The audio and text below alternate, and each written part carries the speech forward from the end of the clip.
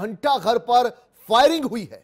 CA NRC के खिलाफ प्रदर्शन में फायरिंग प्रदर्शन के दौरान आपस में भिड़े दो गुट बीते एक महीने से हो रहा है प्रदर्शन। पुलिस ने दो युवकों को हिरासत में लिया। ठाकुरगंज थाना क्षेत्र की यह पूरी घटना।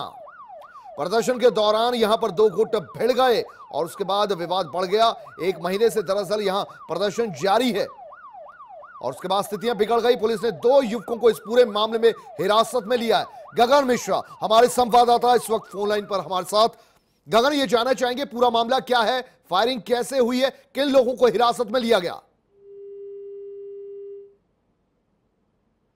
जी गगन। तो इस वक्त बड़ी खबर आपको दिखा रहे हैं। लखनऊ से प्रदर्शन के दौरान यहाँ पर दो गुटों में आपस में भिड़ंत हो गई।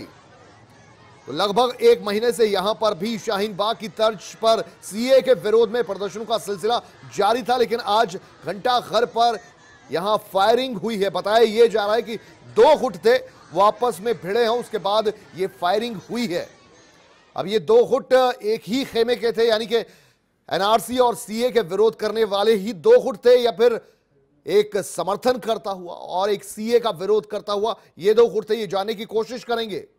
गगन हमारे साथ, हमारे संवाददाता फ़ोन लाइन पर जुड़ गए। गगन, ये बताइए कि पूरा मामला क्या ये देखिए बिल्कुल जहाँ पर ये घंटा घर पे प्रदर्शन हो रहा है, वहाँ पर अब दो वॉलंटियर के गुटों के बीच में पहले तो हाथापाई हुई, लेकिन हाथापाई जब बढ़ी तो एक गुट ने फायरिंग कर दी इसके बाद मौके पर पुलिस पहुँची है और पुलिस ने दो व्यक्तियों को गिरफ़्तार कर लिया है, उनसे पूछताछ जारी है।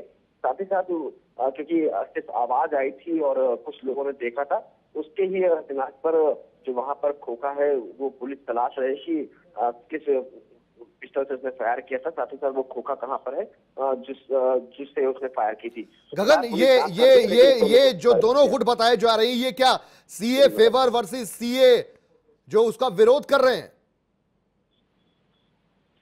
देखिए, जहाँ पर ये प्रदर्शन चल रहा है, वहाँ पर कुछ वॉलंटियर लगाए गए हैं जो वहाँ की सुरक्षा व्यवस्था को देखते हैं, वहाँ के लोगों की साथ ही साथ जो कुछ सामान लाना होता है, वो व्यवस्था देखते हैं। उसी व्यवस्था के चलते यहाँ पर वॉलंटियर की तैनाती की गई थी, लेकिन जी, चलिए, बहुत शुक्रिया गगन मिश्रा इस पूरी जानकारी के लिए आपका।